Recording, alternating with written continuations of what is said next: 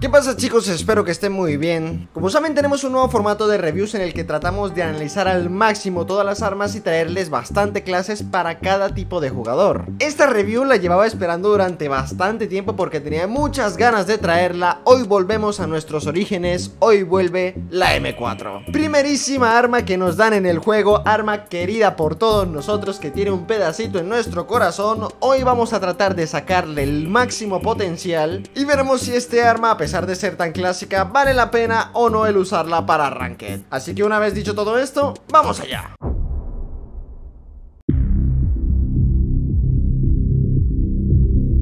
Pues bien, comencemos conociendo un poco sin accesorios cómo funciona la M4, stock de serie. Pues como arma inaugural del juego, la verdad es que es bastante normal, bastante promedio, bastante esperable su rendimiento. Nos encontramos con un arma que tiene un recoil relativamente normal, su cadencia no es extremadamente elevada pero tampoco es lenta, y en cuanto a su time to kill no es para tirar cohetes, la verdad es que es un arma que creo que en la mayoría de casos necesita una balita más a comparación de otros fusiles actuales. Quizás el principal punto que yo diría de la M4 sería su tiempo de apuntado, que no es que sea muy rápido así. De la misma manera, su dispersión de balas tampoco es que sea una maravilla, pero hombre, tampoco es que sea un punto extremadamente negativo, está dentro de los rangos esperables. Bastante sin pena ni gloria este arma de manera stock. Ahora bien, el juego cambia cuando la configuramos. Por esa razón comencemos con lo que sería la clase más recomendable para la mayoría de jugadores. Pues para esta clase recomendable nos vamos a ir a la parte de cañón y nos pondremos un tirador o W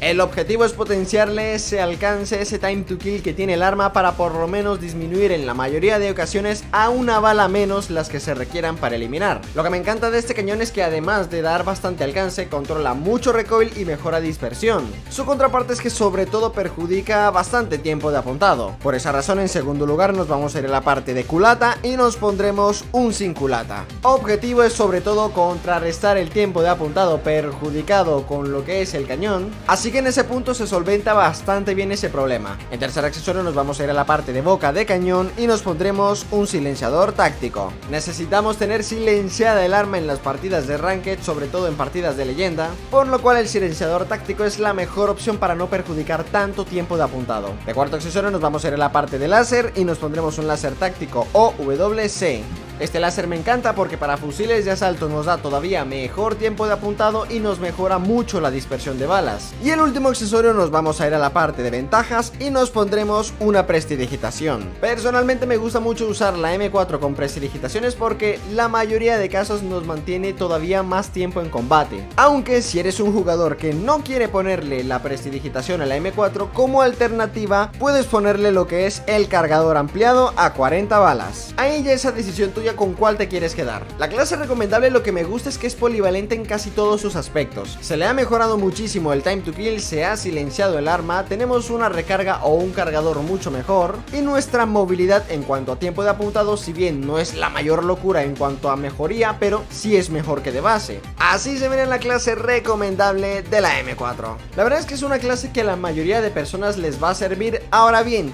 ¿Qué hay de las otras dos alternativas? Pues esta segunda alternativa es sobre todo para los jugadores que sean rusheros o que vayan corriendo muchísimo más rápido por el mapa. Esta clase les puede servir. Para esta clase rushera de la M4 vamos a seguir manteniendo el láser táctico o WC y la prestidigitación. Las diferencias son que en primer lugar nos vamos a ir a la parte de cañón y nos pondremos un cañón ligero corto de MIP. Este cañón nos mejora un 14% de tiempo de apuntado que nos viene bastante genial. Y lo que me gusta es que no perjudica perjudica estremecimiento como si lo hace el Cinculata de la clase anterior que no había de otra más que poner ese. En segundo lugar nos vamos a ir a la parte de boca de cañón y nos pondremos un silenciador monolítico. Por un momento pensé el ponerle el silenciador integrado a esta clase rushera pero no me gustó mucho el time to kill. Con el silenciador monolítico el time to kill mejora notablemente, por lo que si tienes a un enemigo a una mediana lejana distancia ya no te va a dejar tan vendido como si fuera el silenciador integrado. Ahora bien, teniendo en cuenta que tanto el cañón como el silenciador perjudican notablemente la dispersión de balas, pues por último nos vamos a ir a la parte de agarre trasero y nos pondremos un adhesivo de empuñadura granulado. Así solventamos el problema de la dispersión de balas perjudicada, por lo que a partir de ahora tenemos una M4 que se mueve bastante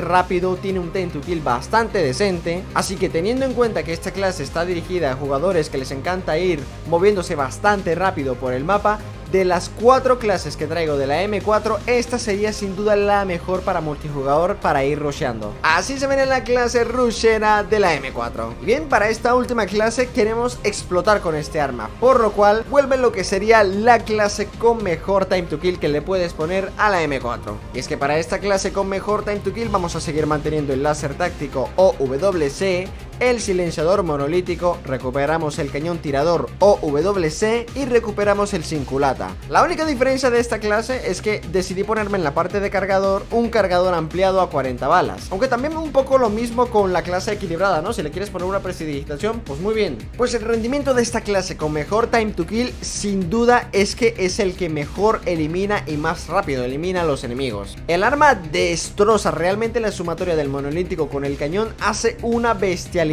con esto el enemigo tiene muy pocas opciones de reaccionar rápidamente, y que si bien su tiempo de apuntado no es mejor que las otras dos clases anteriores, tampoco es que sea muy lento así que digamos. La verdad es que la clase con mejor time to kill es la que más deletió, por lo cual si quieres ir un poco más a lo seguro, pues esta es la clase que más rápido va a eliminar de las tres. Así se venía en la clase con mejor time to kill de la M4. Bien, con esto finalizamos multijugador. ¿Cómo funciona este arma en Battle Royale? Pues para Battle Royale vamos a seguir seguir manteniendo el silenciador monolítico, el cañón tirador OWC y el láser táctico OWC. Las diferencias son que en primer lugar nos vamos a ir a la parte de empuñadura y nos pondremos una empuñadura frontal de ataque. La razón por la que puse esta empuñadura es que incluso con el cañón el arma sigue presentando cierto recoil vertical, por lo cual en Battle Royale a una lejana distancia ese recoil puede ser molesto para algunos jugadores. Con esta empuñadura lo solucionamos perfectamente. Y por último saben que por comodidad personal siempre me pongo una mirita de punto rojo en la M4. Pero en dado caso no te quieras poner la mira de punto rojo, puedes ponerte perfectamente una culata estable RTC. De la misma manera, las ventajas que nos pondremos en Battle Royale son en primer lugar un largo alcance, segundo bastante importante una mira rápida y por último un cargador ampliado. El rendimiento de Battle Royale de la M4 también me pareció bastante lo correcto. En ningún momento sentí que el arma estuviera rota o que dijera wow, esto está súper desbalanceado.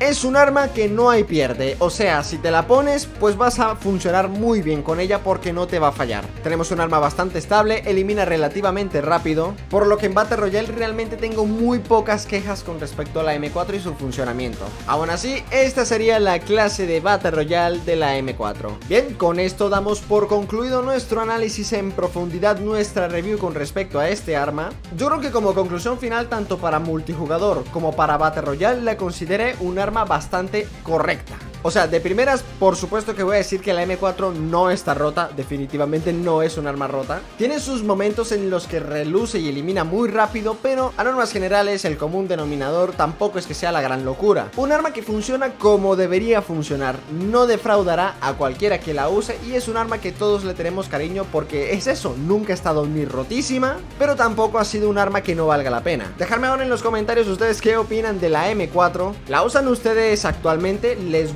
la usan incluso para partidas de Ranked. Yo por mi parte los estaré leyendo, les mando un fuerte abrazo, los quiero mucho y nos vemos en la próxima. Chao.